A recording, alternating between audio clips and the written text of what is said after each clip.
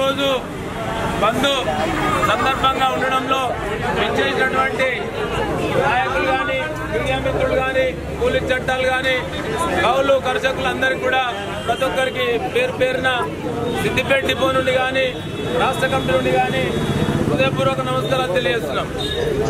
ముఖ్యంగా విషయం ఏంటంటే ఆర్టీసీ అనేది నైన్టీన్ థర్టీ టూలో స్టార్ట్ అయింది. సంస్థ ఇది.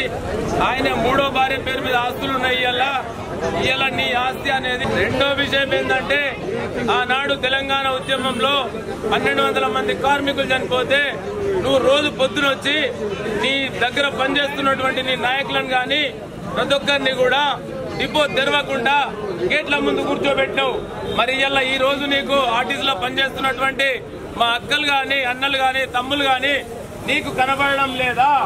రెండో విషయం ఏంటంటే నీకు ఇంకా ఫారెన్ కంట్రీ అయినటువంటి విస్కీ మత్తు దిగుతలేదా? ఇవాళ ఢిల్లీ నుంచి ఒక సెక్రటరీ జనరల్ కేశవరావు గారు ఇక్కడ తెలంగాణలో బంధు సందర్భాలు ఉన్నాయి. తెలంగాణ ఉద్యమంలోనే సగం నష్టమైంది తెలంగాణ. అటువంటి నష్టాలు జరగకూడదని prime minister of India Modi garu పంపించినటువంటి వ్యక్తిని నువ్వు ఇలా ఖాదరు చేయకుండా నువ్వు ఫామ్ హౌస్లో సపరేట్గా వండుకుంటావు. ఇదేం న్యాయమయ్యా కేసీఆర్ గారు? ఇది కరెక్ట్ కాదు. నువ్వు గతంలో ఏం మాట్లాడినావు? తెలంగాణ వచ్చిన తర్వాత నేను ఒక కాపల కుత్తగా పనిచేస్తా గుర్తు చేసుకొని పనిచేస్తా అని అన్న మాట నువ్వే ఇది.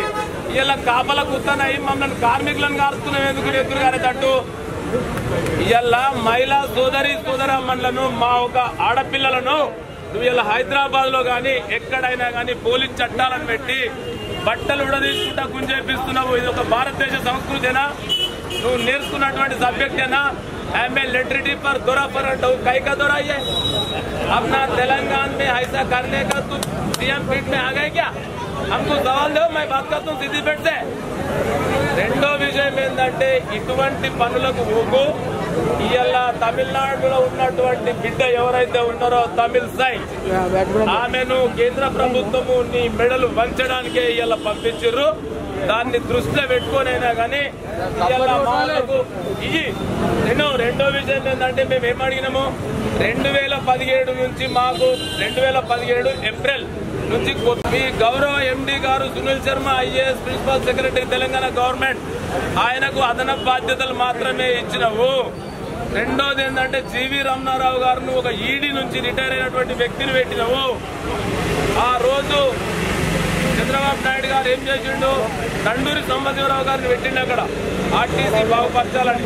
తర్వాత పూనం మాలకొండయ్య గారిని పెట్టిండ్రు అక్కడ. ఆర్టీసీని బాగుపరచాలని.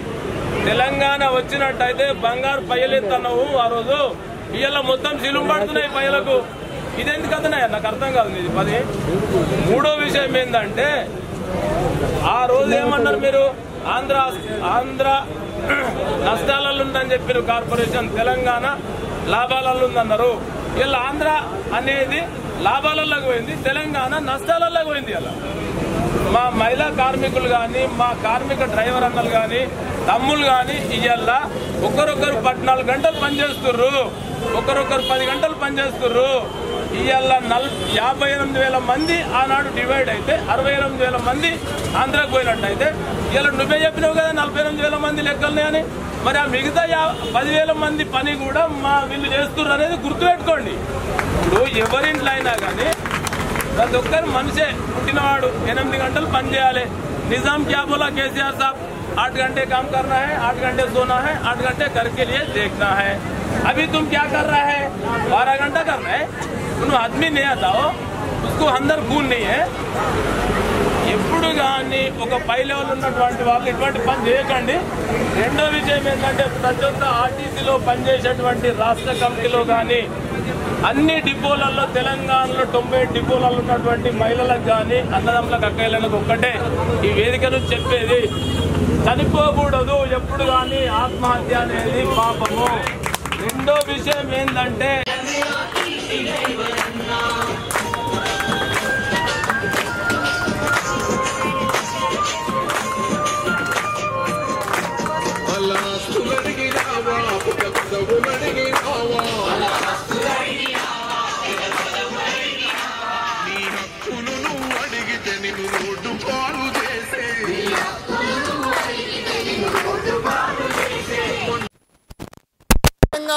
రాష్ట్రంలో సకల జిల్లా సమ్మెలో ఆర్టీసీ కార్మికులు రోడ్డెక్కకపోతే హైదరాబాదులో ఆంధ్రోళ్ళ పునాదులు కదిలేనా? ఆ సెగ ఢిల్లీకి తాకి ఉండేనా? మనకు తెలంగాణ వచ్చేనా?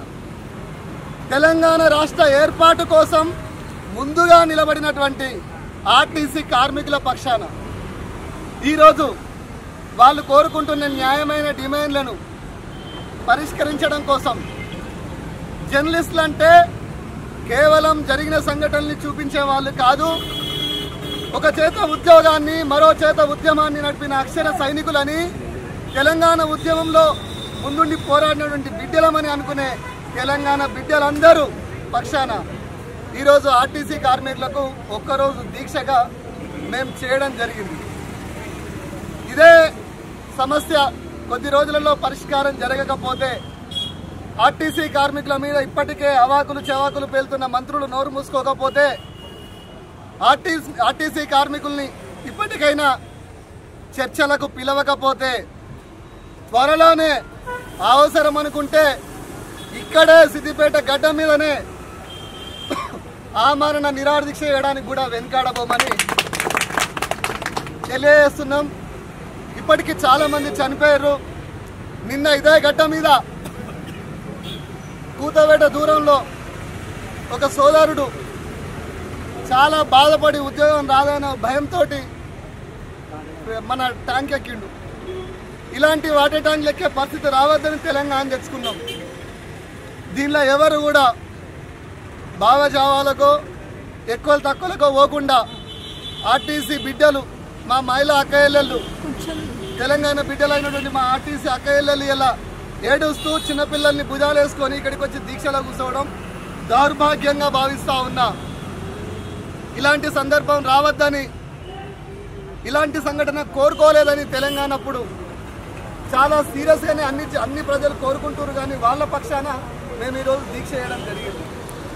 ఆర్టీసీ కార్మికులారా ఎవరు ఎవరు ఆ పోరాటాన్ని ఆపద్దు స్ఫూర్తిని మర్చిపోవద్దు మనం తెలంగాణ అంటే తెలంగాణ అంటేనే పోరాటాల గడ్డ. పోరాటం నేర్పినటువంటి నేల. ప్రపంచమే ఇక్కడి పోరాటాన్ని చూసి నేర్చుకుంటుంది. అలాంటి సమయంలో ఎవరు కూడా ఆత్మహత్యలు పాల్పడద్దు.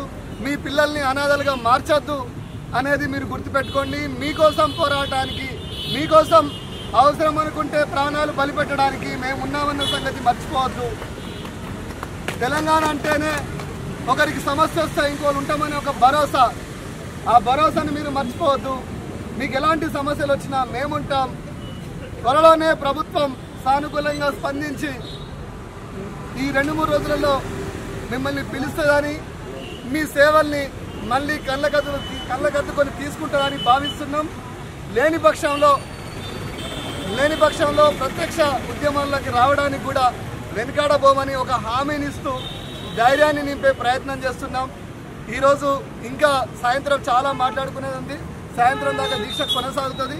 ఎవరు రోడ్డు మీద వెళ్ళకండి టెన్షన్ పడకండి భయపడకండి ఏమైనా తినడంలో ఉంటే తినరండి.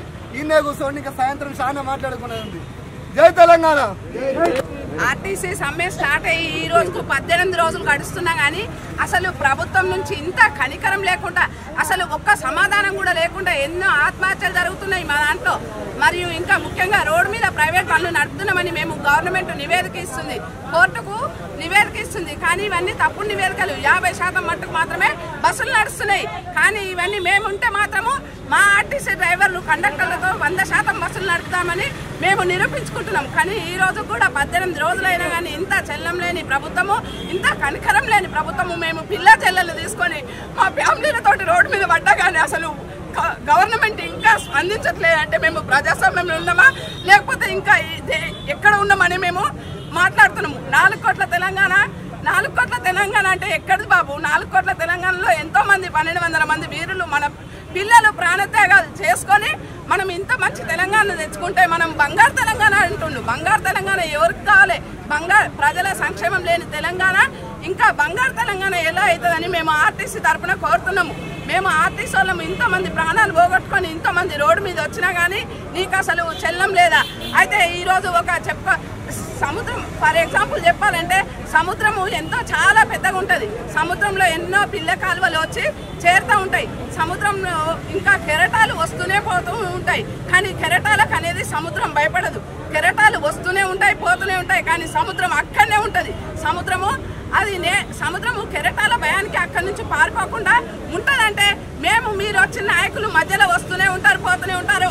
కానీ మేము కార్మికులము ధైర్యంతో అక్కడే ఉండి మేము సమ్మెను ఎంతవరకైనా ఉధృతం చేస్తామని మేము దీని ద్వారా మీడియా ద్వారా మేము లోకానికి అందరికీ తెలియజెప్పుకుంటున్నాం దయచేసి మీరు ప్రజలందరూ కూడా మాకు మద్దతు ఇచ్చి మా సమ్మెను నీరు కార్చకుండా మాకు అందరికి అసలు రేపు జీవితంలో మీ పిల్లల భవిష్యత్తు ఈ ఆర్టీసీ మీద ఆధారపడి ఉంది.